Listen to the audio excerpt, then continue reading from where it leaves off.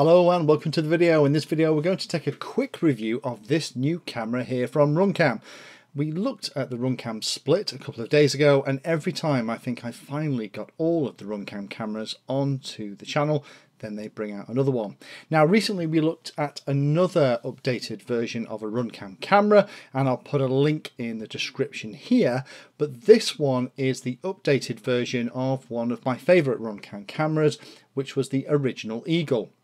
Now the original Eagle video we went through all of the different specs and talked about what the Eagle is and why it works so well. And the Eagle 2 is building on that original camera but is a couple of things different and that's really what I want to focus on in this video. If you want to see the difference between the Eagle, the Swift, the Owl and the other cameras in the Runcam lineup, then we have this video as well. Again, I'll put a link here so you can go and watch it, but this is where we compared all of these cameras in different light conditions. And the way the cameras handle light is pretty much staying the same. So you can still use this as a basis for comparison. Now, when I did this original comparison video of these different cameras in all of these different light conditions, one of the real stars of the test was the original Eagle. And that was because it not only handled really bright light conditions, its wide dynamic range setting meant that it handled deep shadow and bright parts of an image really, really well. So you didn't overexpose or underexpose any part of the image, but because it has a real big sensitivity to light, it will actually work really, really well in very, very low light conditions. So in this video, what we're going to do, let's take this guy out the box. I'll show you how it comes. We'll talk about the specs and then I'll show you some footage of it in a couple of different situations and then I'll wrap it up at the end. The really nice thing about this is Runcam have actually dropped the price of the Eagle 2 over the original Eagle. So at the moment on the website it's only £35 and 34 pence and this is a really really nice camera for that kind of money. It should be generally available about the 30th of June, but you can start to pre-order it in different places now.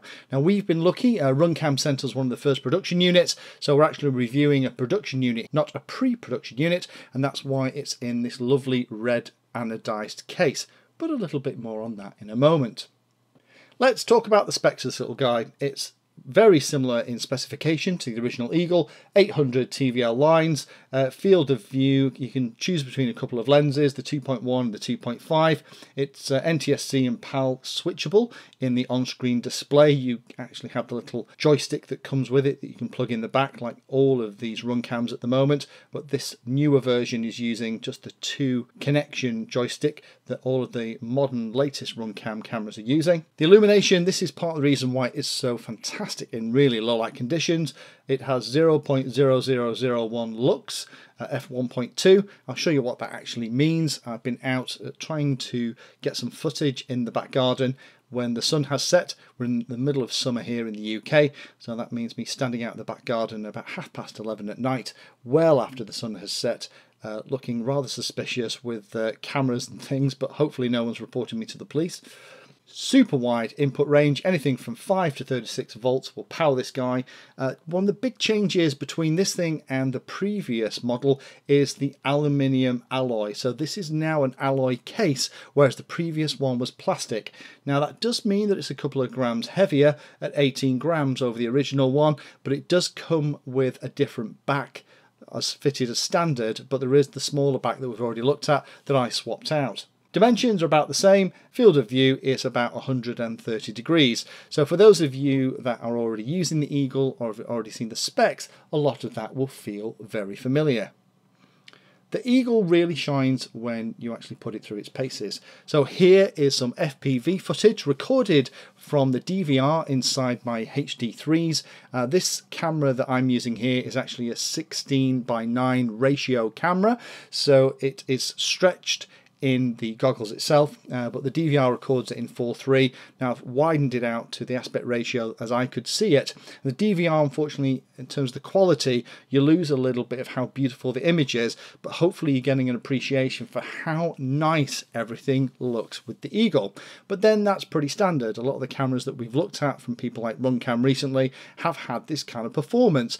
The Owl and the other cameras in the lineup all produce really nice pictures. But it's when you start to put it through its paces in areas with lots of contrast.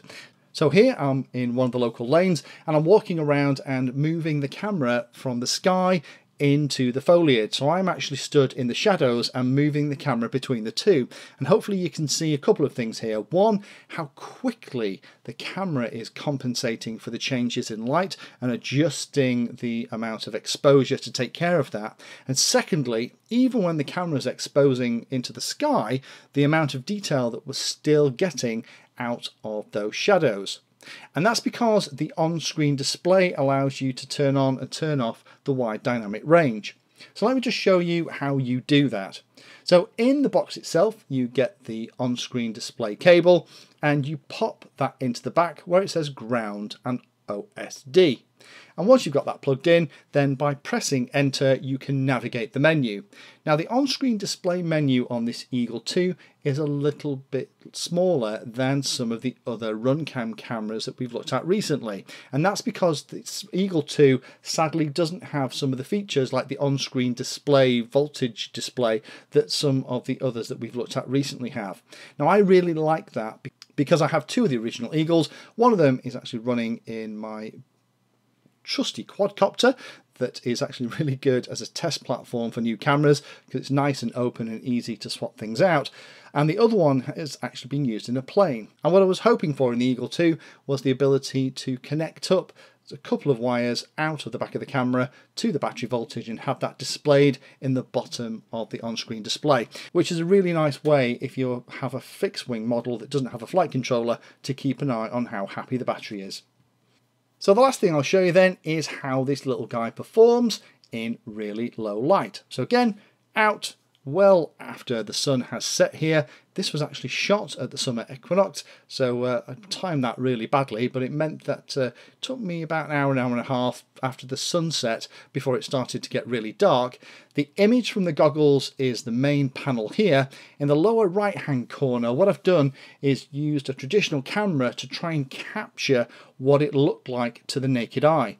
And here we're looking at everything about 45 minutes after the sun set so there's still a little bit of detail being able to be picked up by the naked eye. And as far as the Eagle's concerned, it's giving a fantastic picture. It looks an awful lot brighter. The really impressive thing is going out into the garden an hour and a half later, where it's about as dark as it gets at the moment, with it being high summer here in the UK, and doing the same thing. Again, bottom right hand corner is actually what it looks like to the naked eye, and here in the top left hand corner we have the Eagle. And the Eagle 2 handles the low light conditions in exactly the same way the original Eagle did. What it does is if it can get enough light in there, it continues to produce a colour image. There's a little bit of noise in here, but you can still absolutely see all the details of the garden. And then when you turn it to the ground and it has very little light at all, it turns into a monochrome image, which again still has noise in there, but the amount of light that it's using to do this is very, very small indeed. So this is the camera that you can use on the brightest of days, the most challenging exposure conditions, and also in twilight or even less light than that, and fly pretty safely. So in summary, what do I think? Well, I was a real fan of the original Eagle, so surprise, surprise, I really like the Eagle too. It's an even nicer picture than the Eagle. The original Eagle had some people who weren't happy about the amount of sharpening and very sharp edges. It's like almost over sharpened in the image. I personally never found that myself. I quite liked the way it looked. But this slightly cleaner image with slightly less sharpening does look really good. It is cheaper than the Eagle, so thanks to Runcam for that. It means that I'll be able to get a couple more of these and put them in other places where I haven't managed to get Eagles yet. Also very welcome is they've lowered the FPV latency. The original Eagle that a lot of reviewers loved, including myself, was running at about 45, 46 milliseconds. This is running at about 10 milliseconds less. So that's all good news for those of you that like to fly fast close to stuff. Still excellent in lower light. As we've just seen, it has that great capability of handling everything from really, really bright days down to almost no light at all. Great wide voltage range and still available in the 4.3 and also the 16.9 aspect ratio, which is what I tend to use the Eagles for. I'm a big fan of 16.9 for the panoramic view for some of the models that I have with the Fat Shark Attitude goggles and the Eagle is a beautiful camera for that. Considerations, things to think about. That case is a little bit heavier than the previous version. Uh, once you replace the back, it's only a couple of grams. But interestingly, when you remove the back, you'll notice that the inside has been changed slightly. It's a single board construction. So make sure if you're going to open the back, you just do it with two Phillips head screws, that you're not doing it in a place that's full of dust. You don't want to get anything in there on the sensor. That will spoil the effect. Again, sadly no on-screen display. I would have loved this to have the same on-screen display as things like the Swift does. That ability to show the battery voltage would have been very handy for fixed-wing pilots like myself. It would have been nice in the new version if there was an ability to change between a 4.3 and a 16.9 aspect ratio. It's set when you buy the camera, so if you later decide to change your goggles, then you're a bit stuck a lot of the high definition goggles like the Fat Shark Transformers, the Attitudes, um, some of the HeadPlay stuff is that 16.9 aspect ratio and that's really nice but a lot of other goggles are that 4.3 more boxy aspect ratio. It would have been lovely to be able to change the camera settings depending on the kind of goggles you were using on the day. So the summary for this camera is very similar to the original Eagle. Very welcome is the reduction in price, the reduction in latency and the changeover to an alloy housing. That 2 grams in weight isn't an awful lot to pay for security to make sure that the inside of the camera is nice and safe and there's a little bit more shielding around it too. I will be taking a look at the brand new Owl 2 camera in a couple of weeks, which hopefully will finish this latest round of updates from Runcam on their range. So join me for that video in a couple of weeks. Thank you for taking the time to watch that video and particularly for watching right to the very end. We try and release a video on Tuesday and Friday and sometimes we'll release one or two extra ones in a week as well.